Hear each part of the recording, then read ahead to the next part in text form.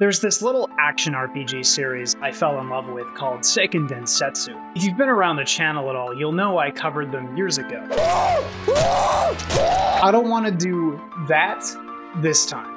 Not exactly. The big missing piece, something I wanted to cover back then and fell out of because audience interest wasn't there, is Sword of Mana, the lone GBA title. Back then, I saw the game as a limp remake of the very first Mana title, so not worth covering in detail.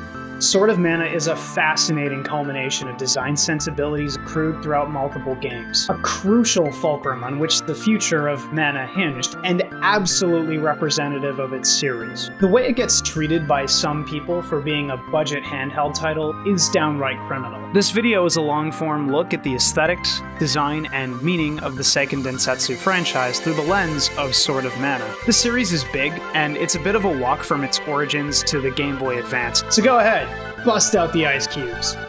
Pop your corn. Before we get further, I have to acknowledge the M word.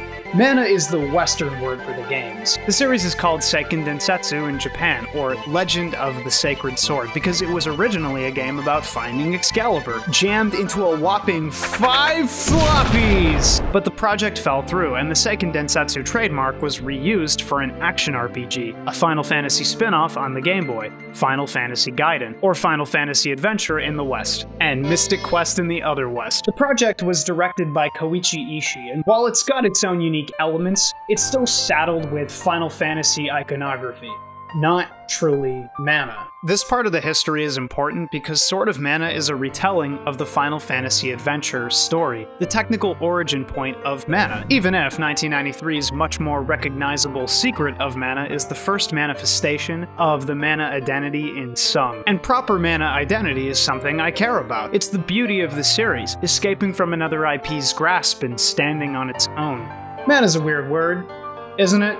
It's not a household term, really. In the West, it's probably best recognized as the fictional resource drawn from the land, allowing players to cast spells in Magic the Gathering, as another word for MP bar in games like Diablo, and for the more religiously inclined, as a food provided to the Israelites by God as they traveled in the desert. It's hard to know where the term mana originates, like how it ended up in the games and what it's based on, cause that'd at least be quality grounds for an interpretation of intended pronunciation. The Trials of Mana remake says, so I say mana, though admittedly many people are already frustrated that I haven't said mana. Mana is a word that spans multiple cultures and means different things in each, mostly spiritual things. The word means something like character or ethos in certain cultures, spiritual energy in others, and powerful natural forces like wave and wind in others still. If we took the Hawaiian version of the word as the origin point, we'd use mana without question. In game, mana is connected to a lot of proper nouns the mana tree, the mana clan, the mana sword, all of which are interlinking parts of a spiritual whole. Mana itself is described as the source of all life on Earth, a natural but simultaneously supernatural force. As far as I can tell, that puts it midway between its Proto Oceanic origin and Polynesian theology. So, mana it is. We know mana in game is connected to the natural world supernaturally because of the mana spirit, magical beings present in most games that command the power of the elements fire, earth,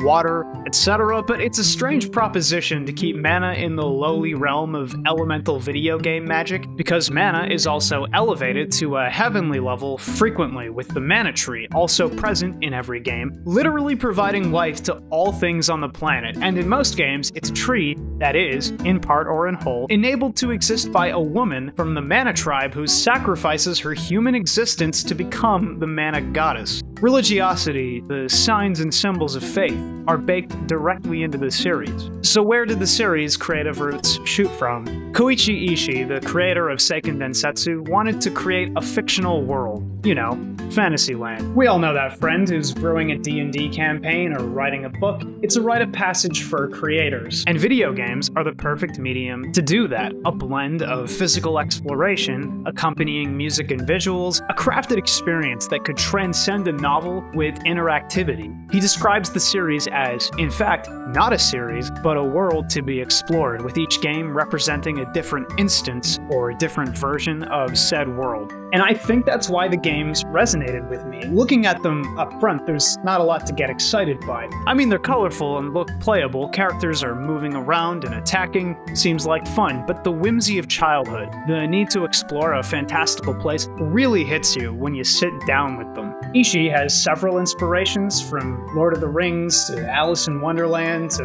Moomin, what a king. Regardless, the games universally convey the feeling of wandering into a forest as a kid in search of adventure, and that's a special thing to capture.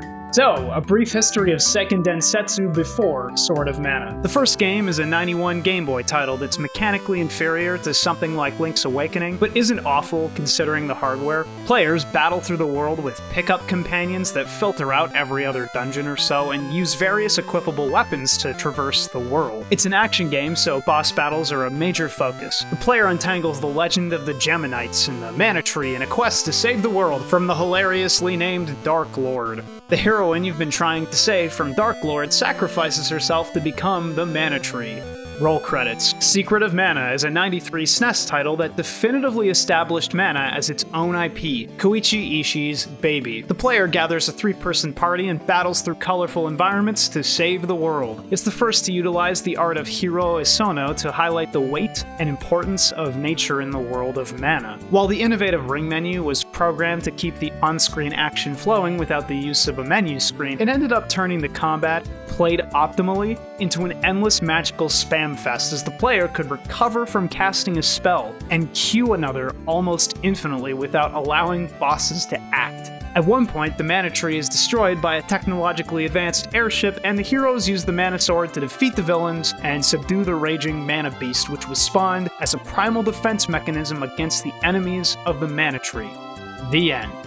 Trials of Mana is a 95 SNES title and among the highest quality on the console. It's extremely ambitious, featuring gorgeous sprite work, a totally rehauled combat system that effectively prevents overt mechanical abuse, and six playable characters, from which the player selects three, each with light and dark class trees to delve, and three potential storylines to boot depending on the choice of main character. If your neurons aren't firing just hearing that stuff, I mean, now it's okay. Maybe our star signs aren't compatible or something. Unfortunately, it wouldn't hit the West legitimately until the Nintendo Switch's Mana Collection in 2019, rendering it all but unknown in the Western public conscious. Last is Legend of Mana, the 99 PSX title most notable for turning the entire series on its head with 2D side-scrolling beat-em-up gameplay. An unbelievable wealth of superfluous and entertaining gameplay systems from farming to monster taming to magical spell creating to forging to ability mixing, and that's still not everything! Temporary party members would join the player, much like Final Fantasy Adventure, and the game featured multiple major plot threads that could be engaged with or dropped at will. What really sold the world was its music, composed by Yoko Shinomura of Kingdom Hearts fame, among many, many others, and the visual design of Shinichi Kameoka, Koji Suda, and Nao Ikeda, each contributing to different aspects that, in Symphony, transformed the Mana IP into something truly visually unique. The series looked and played very differently in every installment up until Sword of Mana's release. It's integral to the design, changing things up, being many things, accommodating player choice in a way many games wouldn't allow for, even letting the player opt in or out of story content. They spoke to me because they were colorful, fun, and subversive. Even nowadays, posting any kind of opinion about the story of a video game will prompt absolutely unhinged responses from people who regard the thing as doctrine. Mana twice said, take it or leave it, either way. I respect Koichi Ishii's design sensibilities because I share the opinions implicitly backing them. If you're going to present a world to other people, let them engage with it how they want to. If you're going to write a story, don't assume everyone's going to love it as much as you do. If you're going to write fantasy, either start subverting genre tropes or really lean into it. If you're gonna put yourself out there, as colorful and strange as you may be, own it. Mana is unapologetically itself, and still allows players to find themselves in the work. That's something many games don't leave room for. And that brings us to Sword of Mana, a 2003 GBA title and the triumphant series return to handheld consoles. Sword of Mana is an artistic vision coalesced that's higher praise than I thought I'd ever give. In case you don't know, handheld systems pre-Nintendo Switch era, so Game Boy, GBA, DS, PSP, etc., whatever the case, were budget systems. When you bought a new game, you knew you were trading fidelity, performance, raw quality for a cheaper price tag. I remember growing up with handheld games sitting at $40 and console games being 60.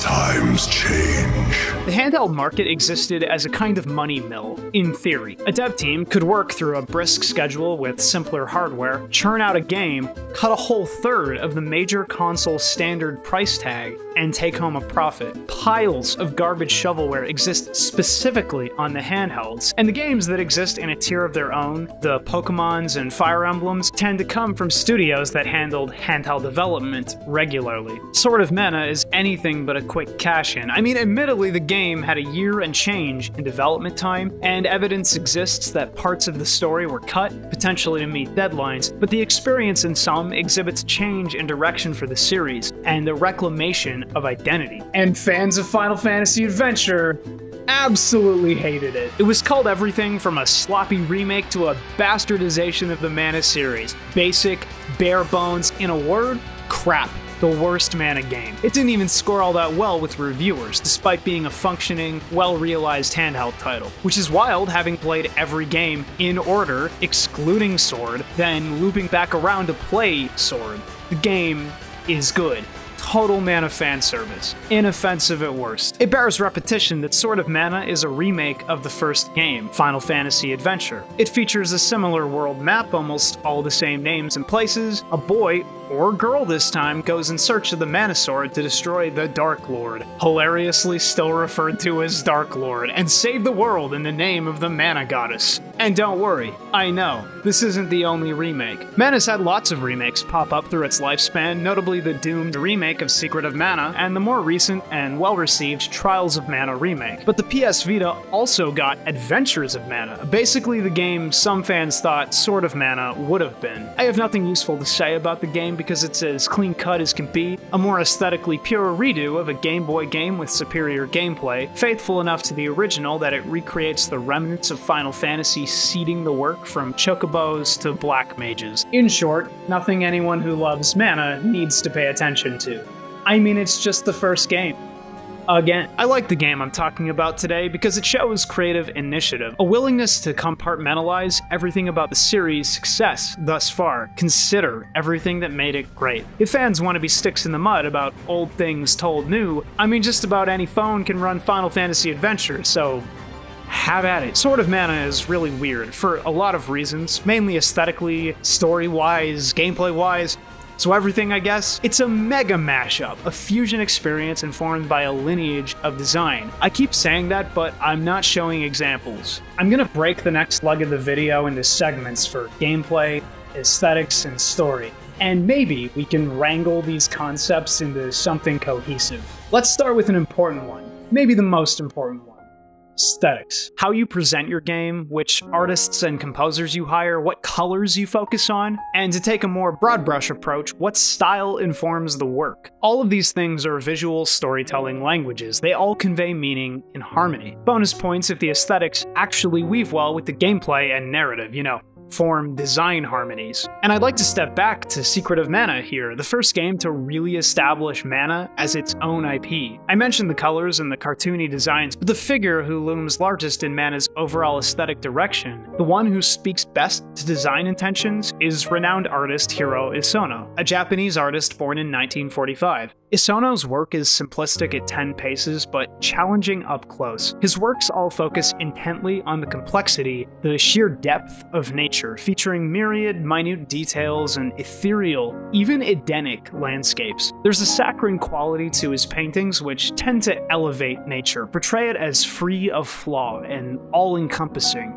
even homey, they're easy to get lost in. I appreciate the mana specific arts because they resist the idea that the natural world can be readily captured, understood, through a mere portrait. He was presumably commissioned for Secret of Mana and for future games because That's kind of the point of mana. In a game where the mana tree is the source of all life on Earth, where the mana sword and the mana clan are subservient, lower on the totem pole than the mana tree, it's a fictional universe that places nature above everything. All human creations, all people. People feed the tree in most games. The work Isono did for mana specifically shows the characters absolutely dwarfed by the scope and grandeur of nature, given no more importance than the birds or a small shrub, only they stand apart with their colorful clothes and weapons, drops of paint at the bottom of the canvas, ready to enter, but with no more fanfare than any other forest creature. It's profoundly humbling, especially to sell a game's protagonists this way. Though Isono's work was used for several games both pre and preceding the subject of this video, it was untapped specifically for Legend and Sword of Mana. I still think it's important to appreciate Isono's work, just in general, but to Mana specifically for visualizing something Koichi Ishii wanted to convey about his world. The character designs are also worth exploring. In Secret of Mana, characters were officially represented in clay sculpts, featured in the game manual, and in Trials of Mana, the original character design was handled by Nobu Teruyuki. They're really evocative, dynamic designs, much sharper than anything from the first game, and all of this is laced with Koichi Ishii's own monster designs, the famous Rabite, and many, many others that would form a bedrock of fantastical, childlike whimsy. The forest creatures aren't scary, they're cute and funny, though they can stunlock you to death in the first game, and honestly, f that. But character design shifted in Legend of Mana with the art of Shinichi Kameoka, whose work is iconic to say the least. His art also appeared in Brownie Brown's Magical Vacation, and more recognizably, Magical Star Sign, among others. Despite never owning Sword of Mana as a kid, I remember the art perfectly. I remember specifically just how veering on uncanny the art is. His characters tend to be painterly, highly detailed, incorporating many accessories, like the camp of FFTA's Luso Clemens, for example, but they make use of muted tones in general. And the Legend of Mana designs, in particular, often include animalian features or natural elements, casting anything purely human as strange by comparison. It's iconic because it's so bizarre, but it's also perfect for Mana, a series that highlights magical whimsy and the triumph of the natural world over people and industry. Sword of Mana makes use of the same style, though slightly less weird, mostly Julius, we gotta talk about them toads. it wholesale repurposes the general aesthetic direction in landscape, characters, and towns. Admittedly, Legend of Mana was relatively new to the series when Sword released, so adopting the art style may have set alarm bells off in some fans' heads. It can be hard to wrap your head around a new aesthetic, especially if you're really a fan of the Nobuteru Yuki designs or the goobery clay lumps. But I think that regardless of the line specifics, vibrant, flagrant design was always the guiding principle with Mana protagonists. If anything, the Sword of Mana protags are comparatively muted, with minimal color variance. They look more normal than Jurin or Randy, but it's fitting if the design conceit since Secret of Mana remains that nature is greater than humankind. And the colors, the palette choices are incredible. The game world simulates the passage of time with a day night cycle, not unheard of in handhelds, but certainly uncommon. The player watches traditional Fantasyland, all greens and browns and yellows, transform as the night falls, giving way to teal grass and purple rock. It's like the land itself is seeded with magic, because it is. Mana, the magic, not the series, is the earth. So many games in the GBA's library don't bother with the extra effort and feel comparatively flat lifeless. False. But Sword of Mana, this dinky handheld title nobody really cares about, is not the budget cash in it could have been. So the models are on point, the visuals are A+, plus, everything is going good. And the music's good too. Unfortunately, being a GBA game, the OST is crushed and sounds pretty tinny overall. It's hard to recommend as listening, and in fact, this video is scored with everything short of Sword of Mana's OST.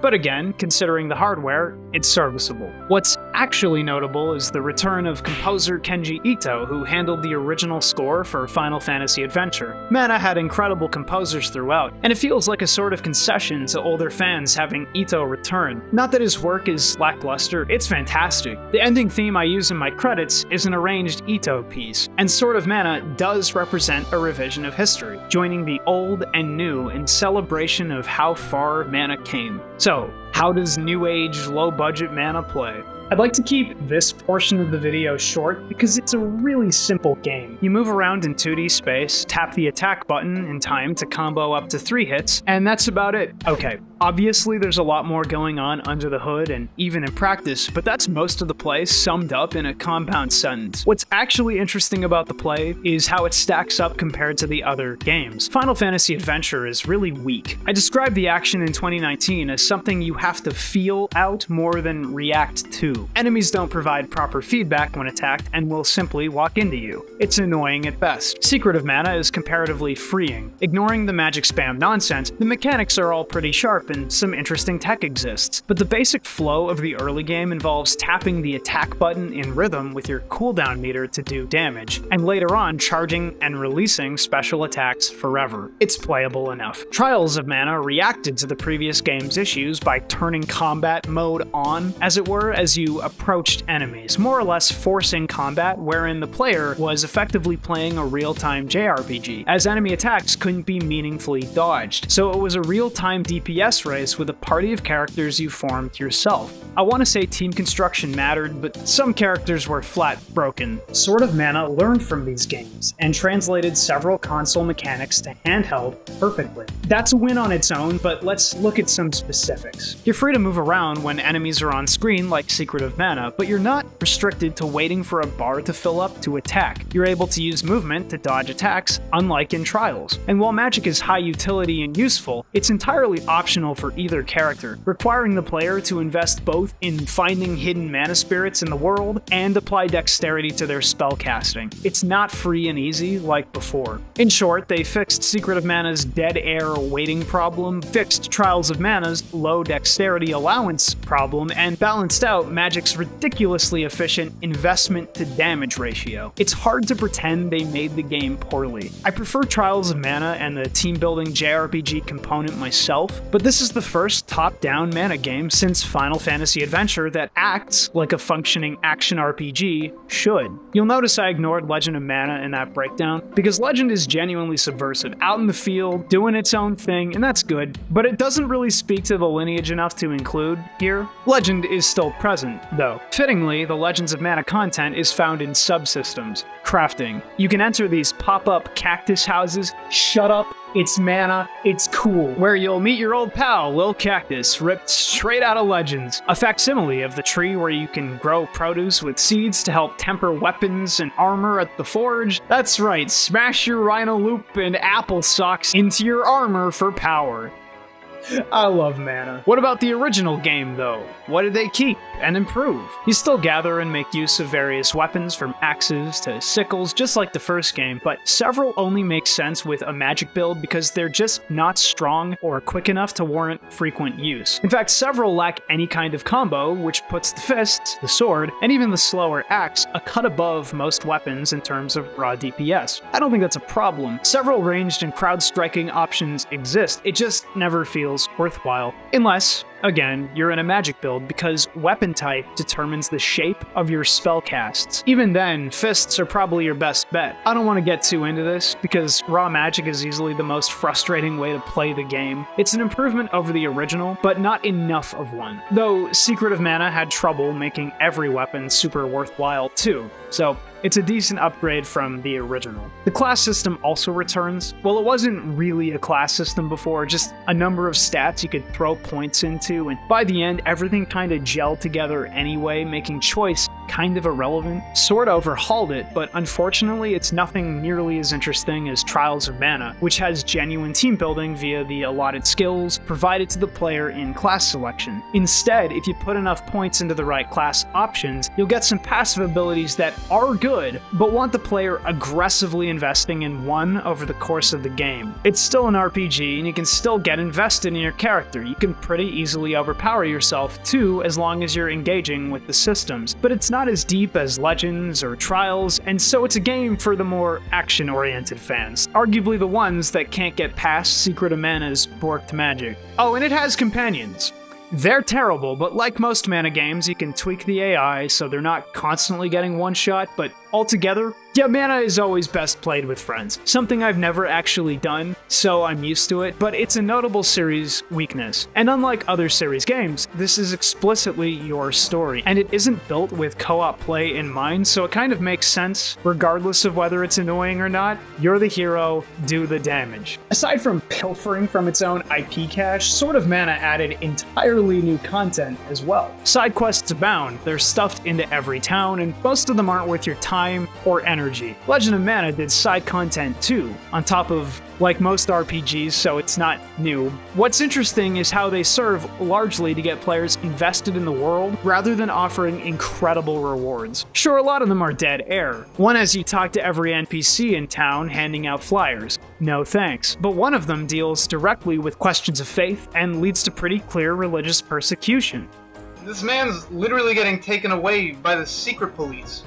He's going to Gulag. There's also a ton of missable GBA link only stuff like acquiring summons, full screen attacks from other games. And all this stuff is effectively lost. Nobody's walking around with a Game Boy Advance, a link cable, and Sword of Mana on hand, even at gaming conventions. They had to have known a quick five years would invalidate the work done for the system, but they went for it anyway. Publisher mandate, a remnant of Seiken Densetsu's popularity in Japan, it's hard to say. Now it's just more evidence of the team tapping into its own IP's roots to sell mana on every front. But Sword never really strays from its purpose, not when innovating nor pillaging the successes of other games. It's a remake. So you wander from town to town, explore colorful environments, litter the realm with corpses, and battle a series of bosses. And for once, just once, there's nothing special to say about them. They're all typical mana chaff, plot enemies that move around and take hits. Occasionally they deal damage, but they're all the same kind of stuff you've seen before, provided you've played any of these. One or two of them are more action-oriented, like designed specifically for an action game. The one Mind Flayer fight is sat on top of a spinning platform, and that's frustrating, but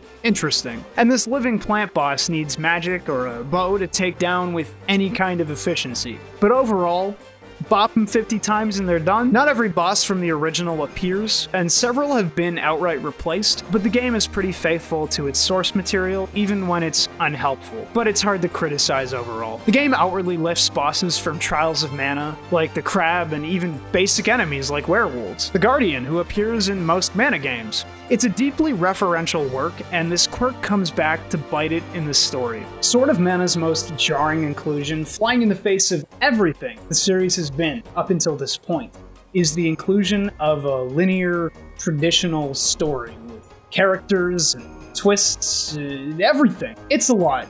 Just a lot of text. You've got to understand, the first game introed with Dark Lord and was told in comparatively few text boxes. Secret of Manas was more ambitious, but fairly lackluster and disjointed. Hard to take seriously and hard to remember. Trials of Manas was also ambitious, but it was three different stories, and I guarantee you, few players ever experienced the whole thing. And really, up until Legend, the overall quality of the stories was pretty low, either because of simplistic ideas, bad translations, simply having story be optional. I never got the sense that story was at the forefront. Challenging the player with something truly interesting was never on the table. Legend of Mana broke away with some pretty high quality pathos, especially the Jumi arc that I recommend players hunt for, but one optional subsection of a game's story does not a critical masterpiece make. No disrespect, by the way, if you play Legend of Mana, you're probably alright. And none of this is an issue for a video game. You don't need to write a novel, just enough to lubricate the gameplay, or to make the journey worthwhile. But Sword of Mana is working with history here, literally retelling the original story. Its Japanese title is Shinyaku Seiken Densetsu, literally a New Testament, the legend of the sacred sword.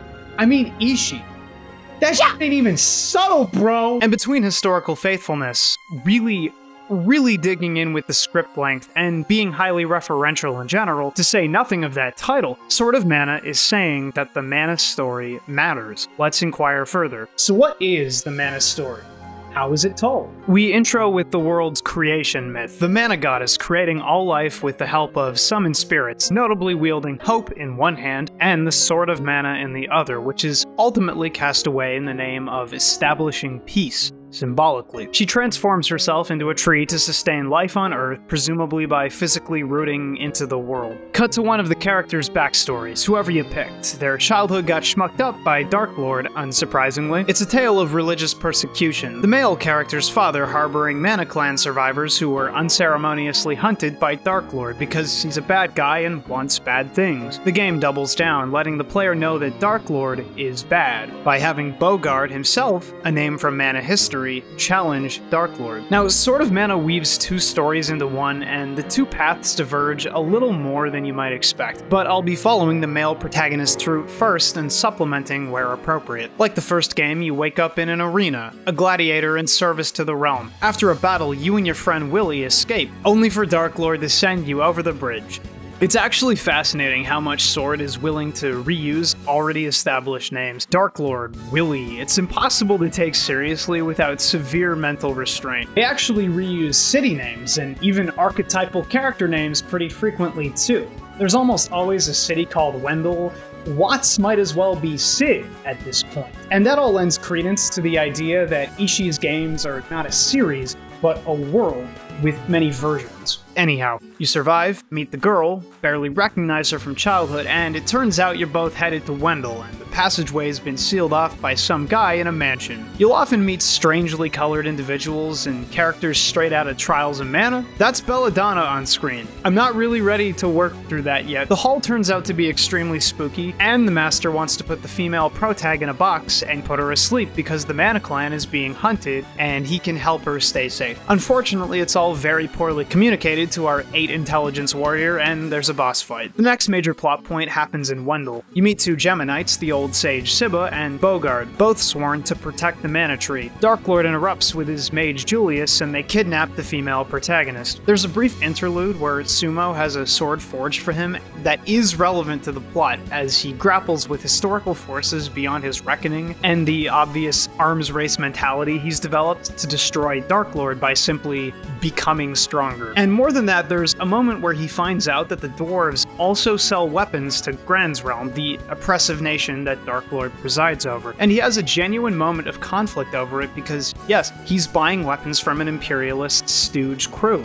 In a mana game, we're actually dealing with the intersection of social strata, capital, labor, oppression. Most real thing we've seen in what, like five games, meeting with Cibba later on establishes the major conflict Sumo has going forward. If he's willing to wield a weapon, is he any better than Dark Lord? If he's willing to kill, is he any better than this tyrannical dictator? I have some thoughts on that, but I guess I'll hold them for now. Though Cibba at least acknowledges that all beings, animals, humans, Mavolians, like the vampire from earlier, all originate from mana, so they're all fundamentally alike. Good. They attempt to rescue, which goes nowhere. Man, Mana likes falling scenes. Get it? He's falling so he can climb back up the narrative to another character building moment. Do you get that? The plot expands from here with the tale of Lester and Amanda, brother and sister. Lester being both unfortunately named and turned into a bird, so the party goes to kill Medusa, which will break the curse. Medusa appeared in the original, but it's definitely one of those characters that could use a total overhaul so that it's not turning Mana into a syncretic, multi-origin work, especially when Ishii really cares about putting his original designs and silly little rabbit goobers into the world. But anyway, this ends with Medusa dying, which sucks because she had a history with Bogard, but ignore that. Dark Lord and his other buddy Devius appear. You're killing me with the names. They walk in, and we learn some valuable info that Dark Lord, also known as Stroud, who later was used in Dawn of Mana alongside the Mavolian concept, Stroud and Devius are related via their Mavol blood, and whoops, Lady Medusa was their mother. Cringe. He gets revenge by turning Amanda against the party, and you're made to kill her by tapping to attack. The game literally won't progress until you press A to kill. It's not a bad moment. God of War did this kind of stuff too, but I don't remember doing that on GBA ever. So there's a lot of moving parts to the story, some interesting social commentary that's life applicable, as most fiction lessons are, having been written by human beings. I know some people reject that, but please pull the blinders back and breathe reality in. And we've got aspirational gameplay narrative integration. It's kind of confusing with the amount of lore required to fully grasp but it's okay. Translation is kind of sus, though. What a sad thing that happened. Okay, that's just cringe. Ah, censorship. Maybe we can put a big old Mario noise over that instead. You know, let Sumo say f This leads to more self-reflective fluff. Are we just as bad as them? No, obviously not. Medusa went insane and you protected yourself. Plus, Amanda's brother was a bird. You know, context matters here. A dungeon later and you put Devius down, but you don't kill him. That task, because our hero is having a murderer crisis, goes to Goremand from Trials of Mana. Oh, I just assumed he was working for Dark Lord, but it's weird that he's casually collecting villain souls in the middle of I'm um, trying to have a plot. Why you mucking things up, Goremand? Why are you here? He leaves, and we get a perspective shot of all the characters we've met so far. These happen a few times and really give the sense that Ishii wants this to be looked at as a serious story. And fair enough, it's putting the work in. The problem is, mostly, that it's weighed down by a number of extraneous elements, collared to the original story, and refuses to rename Willie, Lester, and Dark Lord. Still got value, no doubt about that, but those moments are far too few, and we're mostly worried in the plot about becoming a murderer. Like, every kid playing this is like, yeah, kill Dark Lord, kill! The showdown with Dark Lord reveals that he's doing what he does because of his ambitions. Okay, so he's Black Mana aligned. What does that mean? We don't know, but we do know that the game thinks violence solves nothing and is willing to equivocate Sumo and Dark Lord, a guy who commits hate crimes against a necessary religious sect, because Sumo has killed maybe two people, and not even directly fairly cringe. Let's hope that gets resolved. Goremand returns, and I guess he's gonna be the final boss now. What's this all about, dude? Goremand was a major boss in Trials of Mana, like one of the branches, but he wasn't even the canon branch's final boss.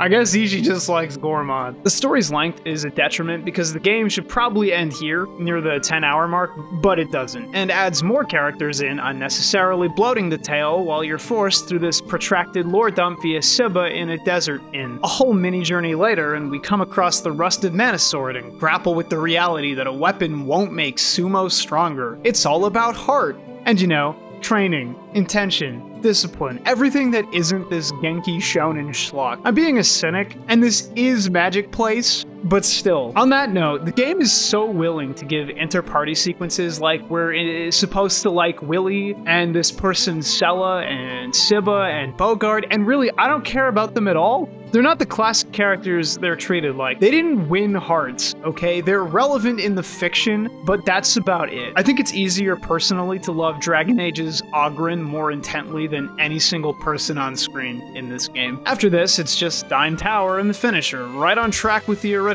Feel sad because the robot sacrifices itself. We will hold them in our hearts for all times. So the party arrives in Eden, the Mana Sanctuary basically. And there it is. Julius was the real bad guy. He tries to shake our confidence by revealing that Bogard sacrificed his wife to the Mana Tree, something the Mana Clan is known to do, so that's not particularly interesting. Uh, that Lester was mildly relieved when his sister was being taken away because of her oppressive love.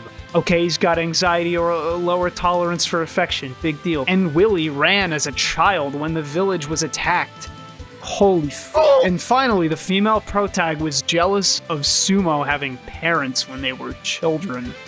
Oh my god, my confidence is in disrepair. The game even has Julius say, That's your idea of friendship? Accepting each other's faults? Bro, are you even a conscious entity? Julius is only acting so ridiculously stupid because he's possessed by the dark ancient spirit Vandole, basically Cibba's old nemesis, and you battle it out for the fate of the world. Ultimately, Sword of Mana tries to pull the rug out from under the player by revealing the female protag's mother is the current mana tree. If you've ever played a mana game, that might be the least surprising reveal yet conceived by Koichi Ishii. Furthermore, she's only here to become the next mana tree. Again, Again, coming to terms with this reality lets Sumo make up his mind and steal his resolve, which awakens the Mana Sword. Julius admits that he doesn't believe the basic premise the player is given from the beginning that mana is the source of all life on Earth, and so they battle one more time over ideas. Julius gets slaughtered, Willie says absolutely unironically, God bless this localization, and the female protag becomes the Mana Tree. So, what did all that amount to? Ultimately, not enough. It retread old ground while enriching pre-existing characters, added a whole tome of world building and lore that isn't particularly relevant to the tale being told. And I know that's going to be contentious with some fans, but the basic story is boy wants revenge for terrible past trauma, struggles with becoming like the source of his trauma, makes up his mind and deals with the perpetrators while saving the world and perpetuating the status quo. And that's got nothing to do with the Mavolians or the Mana Tribe or anything. That's flavor and context to something that doesn't even need the extra layers of context. Though I'd argue it's a lot more flowery and mana. Sumo became a fuller person, the world continues. There's something to say for the life goes on cliche. It gels with mana pretty well, being a story about nature and the natural state of things, trusting the cycle, but it does feel pretty outwardly religious, too. Religious persecution is a recurring element in the lives of many characters and NPCs in game. Religiosity is baked into the thing from the creation myth to the New Testament title, but religious persecution is mostly rooted out by the very same issues Sumo grapples with in the story. Am I not just as bad as the tyrant for doing what he does? The game ultimately accepts that intention, context for violence, matters, and I have to agree. If a dictator and eventually a mage with delusions of godhood are trying to ruin the world for everyone, then yes, violence is good. I'm just imagining a commenter saying, like, no, violence is never okay. They should have just had a reasonable debate.